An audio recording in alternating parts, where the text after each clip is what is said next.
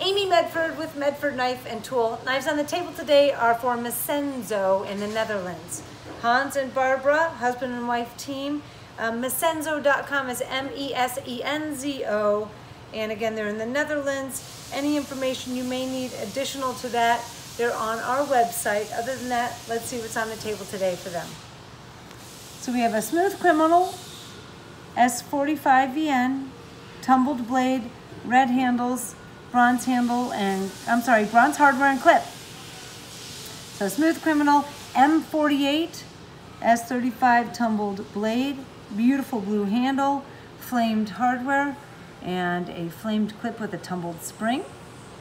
This one I believe is for a particular customer of Hans. I love how this came together. I remember the order coming in thinking there was a lot going on. So it's got face silver flats with really pretty blue falling leaf, bronze pivots uh, with a blue clip and a blue over travel. So very specific on the, on the different hardware. And I think it just turned out lovely. Looks fantastic. Uh, Midi Marauder, PVD Tanto, bronze stained glass handles, bronze hardware, uh, PVD clip and PVD breaker. Marauder H, S35VN, PVD drop point blade, faced and Starry Starry Night handles. Super cool, lots of color, lots of motion. PVD hardware and breaker and spring with a brushed and Starry Starry Night clip.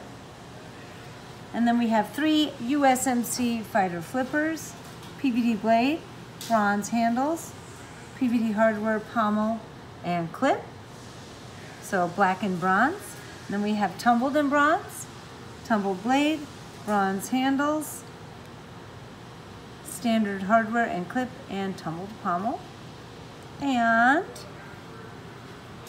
Terminator, so everything tumbled. Tumbled blade, handles, pommel, and clip with standard hardware. Awesome. Less is more sometimes. So I know a quick video, but it is going out to Hans at Mesenzo in the Netherlands.